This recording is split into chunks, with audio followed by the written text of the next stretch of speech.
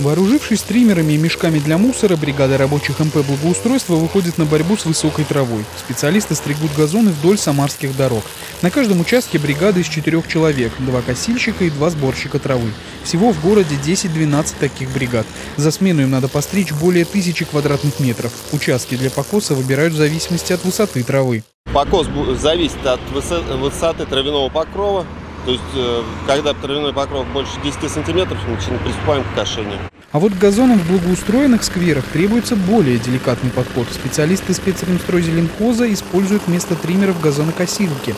Лезвия в них настраиваются на определенную высоту и позволяют даже на большой площади оставлять после себя травинки одного роста. Также в них установлены мешки для сбора скошенной травы. В основном вот такими газонокосилками мы сейчас пользуемся там, где проведен ремонт э, скверов, вот в прошлом году и позапрошлом году по программе «Городская комфортная среда». Покос травы – работа сезонная, выполняют ее с мая по октябрь. В Самаре в зоне ответственности муниципальных служб более 2200 гектаров. В первую очередь стригут траву по обращениям жителей. Особое внимание уделяется и покосу аллергенных трав. Как только в городе обнаруживают место, где разрастаются, например, амброзия или полынь, туда направляют дежурную бригаду. В этом случае выходит бригада вне плана и конкретно скашивает данную э, траву.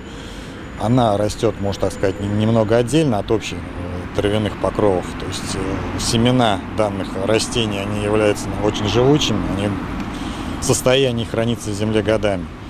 И поэтому реакция должна быть моментальной до момента вызревания семян, чтобы эти объекты, растения были удалены.